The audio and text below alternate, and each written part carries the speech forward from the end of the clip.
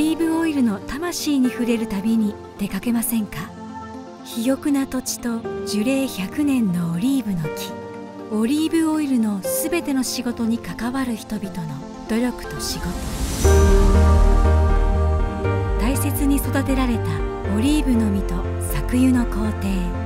それらによって得られた私たちの文化の真髄を瓶に詰めてご覧に入れます。自然公園そのものであるセグラ山脈。